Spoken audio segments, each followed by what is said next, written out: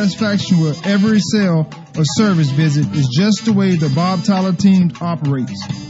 It's a unique way of selling cars in today's environment